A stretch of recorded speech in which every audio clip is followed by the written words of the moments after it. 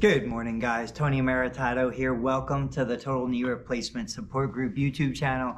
Today, I'm going to answer some questions about the rolling pin, why we use the rolling pin, how the rolling pin works, and essentially what I believe the rolling pin is actually doing to help reduce pain, improve healing, and improve circulation.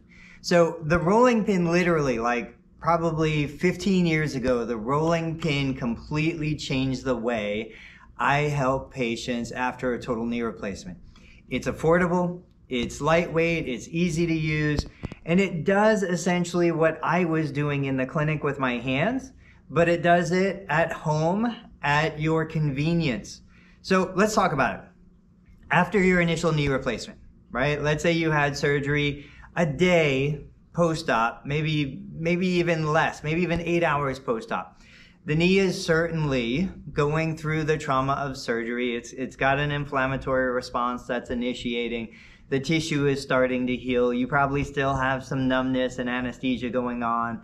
Uh, depending on the kind of surgery you had, depending on the surgeon, there might have been a tourniquet to reduce blood loss, which is great, but as a result, there's a lot of tissue damage up around the thigh region. Many patients come in complaining of more pain in the thigh and the calf than they do actually in the knee. So what I love about the rolling pin is most of us have one sitting at home somewhere. It hasn't been used for 20 years. It could be wood, it could be metal, it could be marble, whatever you've got. But the idea is this gives us a nice broad surface, flat, clean, that we can start to get facilitation of what I call fluid exchange, right? So we're not moving as much as we normally would after surgery. So your muscles, I always say this in the clinic, your muscles don't know the difference between massage and exercise. Other than massage will not make your muscles stronger, but massage will help the fluid exchange. It'll facilitate that kind of getting rid of the waste products, the lymphatic system. It'll move that back into the system to allow the kidneys and everything to process that fluid. It'll help facilitate the exchange of nutrients, bring nutrients back into the tissue. It'll move the fibers. Normally, when you're walking and standing and getting around, those fibers, those muscles are moving back and forth. Right now, you're not. So the mechanical pressure of the massage is going to help get those fibers moving. It's going to stretch the connective tissue. And most importantly, it's going to desensitize some of those sensitive areas if I bump my elbow in the middle of the night, ah, the first thing I do is I rub it. Because that rubbing provides other information for the nerve endings to pick up. And so the rolling pin does the same thing. I've got sensitive areas in, in my thigh, my calf. I massage them gently. My brain feels the sensation of massage and it feels good. It's relaxing. It's soothing. I feel like I'm doing something not to mention, it puts some control in your hands. There's nothing worse than feeling out of control, knowing that there's nothing you can possibly do. This gives you something to do that absolutely creates some benefit. So let's talk about how you do it. Let's jump into the meat of it. Usually what I do is I say, look, if this is my couch, right? There's an armrest there, there's an armrest at the other end, the back of the couch is behind me. I just have a patient sit comfortably in the couch. If this is my surgical leg, we get the rolling pin. And initially, within the first couple weeks, I want to apply pressure up into the system. After the first couple weeks, I can press up and down and it doesn't really matter too much. But initially, first couple weeks post-op, I want to start the rolling pin low and I want to pull up into the thigh. And then I lift, I pull, I'm getting the inside, I'm getting the top, I'm getting the outside. If you have staples to close your, your incision, don't roll over the staples. It's just not something you have to do.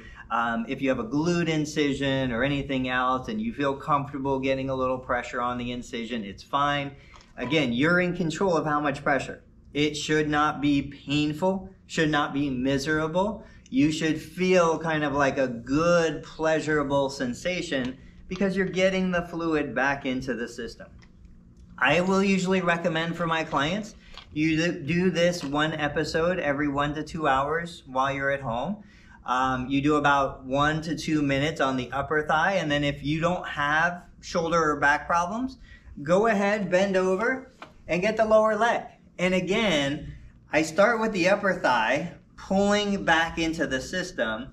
Then I go into the lower leg, pulling up toward the knee because I want to get that fluid out of the foot, out of the ankle, uh, back into the system so my kidneys and liver and everything else can do the job. Uh, if I'm doing one or two minutes on the upper thigh, I'll do one or two minutes on the lower calf. I also encourage all of my clients to do exactly the same thing on the other leg. The reality is, if I did a left knee replacement, my right leg is going to be carrying the load for the next couple days to a week to several weeks. I need to keep my, my non-surgical knee as healthy as possible. And this does a great job. So guys, uh, somebody in the knee group asked what the rolling pin's for, why we use it, what we do.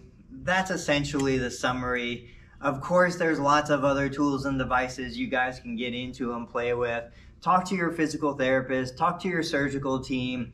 The pain that you experience after surgery is absolutely intense there's no doubt about it. But there should be a sequential improvement in the pain. Most of my clients will relay to me the first 24 hours, they probably still have anesthesia and benefits from the post surgical medication.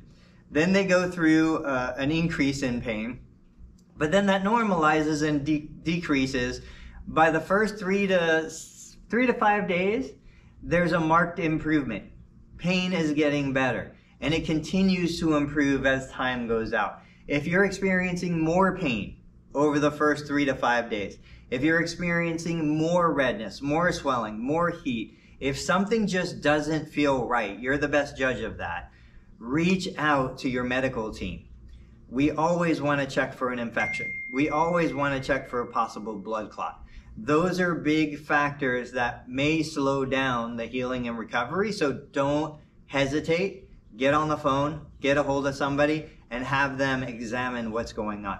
Otherwise, guys, as always, thank you so much for your time. I appreciate the views. I love the comments. I read every single comment. Even if I don't get back to you within a day or two, please feel free to leave your comments on YouTube, like the video, subscribe to the channel, and share your questions. Your questions help me produce better videos. I'll see you on the next one.